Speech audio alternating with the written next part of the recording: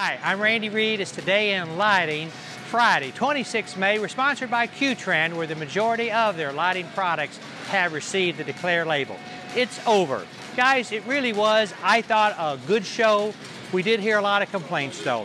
First thing I want to address is LightFair in 2025. There were rumors that it was going to be in Las Vegas, and here's what happened. LightFair made a mistake. They have a contractor. The contractor assumed every other year in Las Vegas, put that out in a video.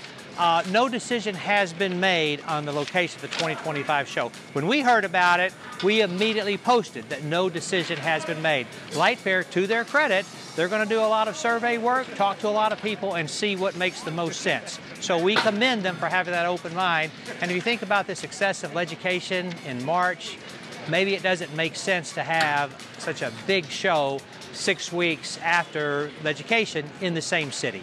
So we'll see what happens. A few comments that we've got right here. Uh, okay, I asked a lot of people to rate the show exhibitors, one to 10. Many of them gave it five to seven. Several people gave it a two as well. I asked attendees, everybody was happy. I did not meet one attendee that was not happy with being with the show.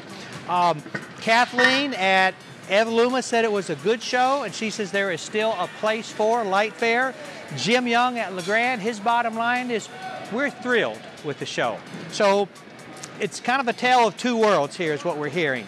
We want to thank our sponsors for the Lifetime Achievement Awards. It was our largest and best show ever, I think. First of all, Synergy, they hosted it. We want to thank Intra Lamar and Signify for being a sponsor.